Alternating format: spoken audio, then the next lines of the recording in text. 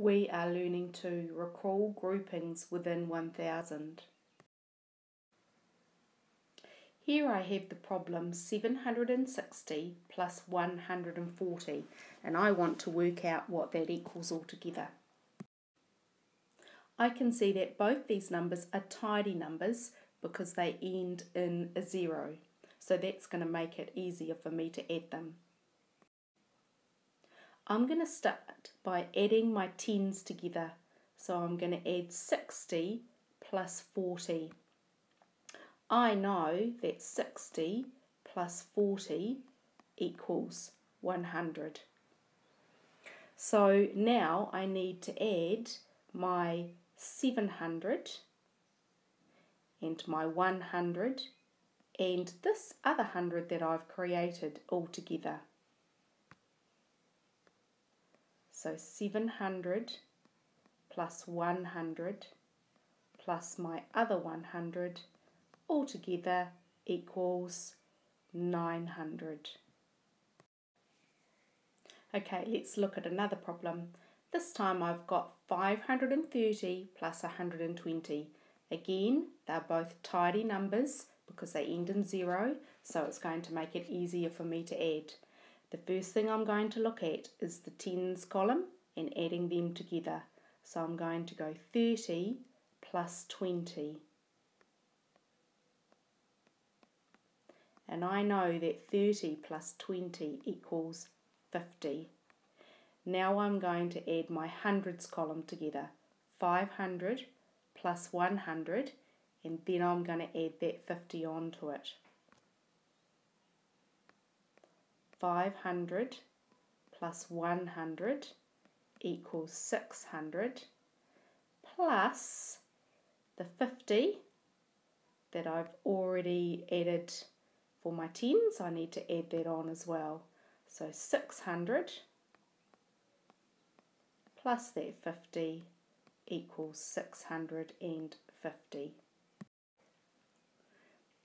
This number bond question is a little bit harder.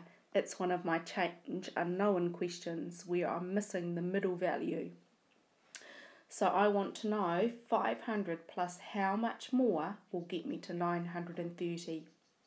So I'm going to start with my 580 and I'm going to add on 20 to that so that I get to 600. That's going to make it a bit easier. So 580 plus 20 will get me to the 600.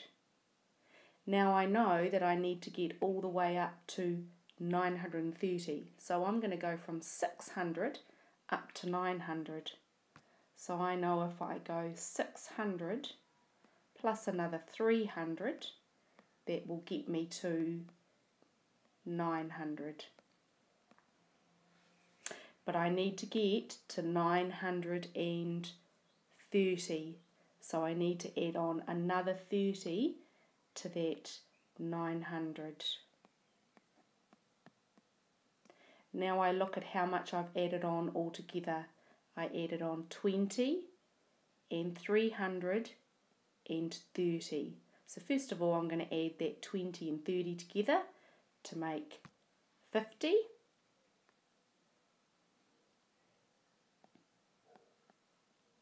And then I'm going to add on the 300.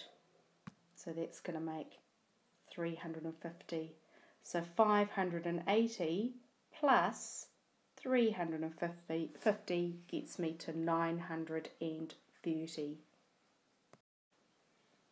Okay, let's have a look at another one of our change unknown problems. This time I have 290 and I want to know how much more I need to add on to that to get me to 740. So first of all I'm going to make my 290, I'm going to go up to 300 because that's going to make it easier. So I know that if I go 290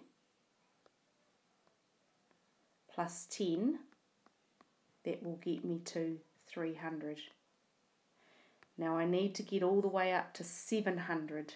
So now I'm going to go 300 plus another 400 will get me to 700. but I need to get up to 740. So then I need to go 700 plus 40 to get me to my 740. And then I'm looking at how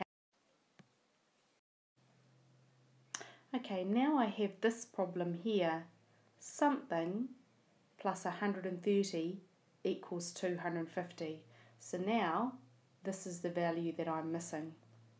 So what I'm going to do first is I'm going to um, go up to the nearest 100 from 130, so I'm going to go up to 200. So to get to 200 from 130, I need to add on 70. So I'm going to go 130 plus 70, that will get me to 200. But altogether, I need to get to 250. So to that 200, I need to add another 50 to get me to 250. And then I have to look at how much I've added altogether.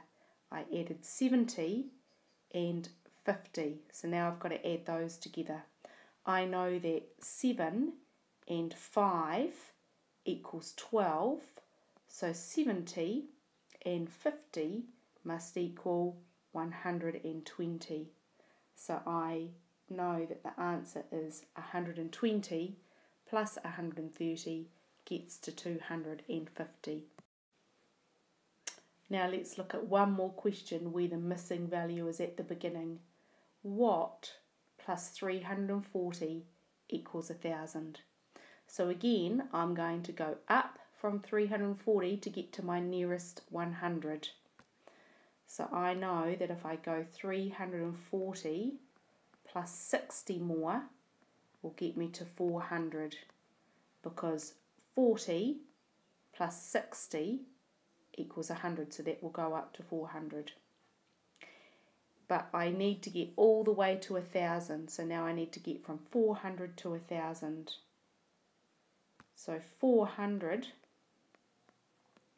plus 600 more will get me to 1000 so now I need to look at how much I added altogether. I added 60 and 600. So altogether I added 660. So the answer is 660.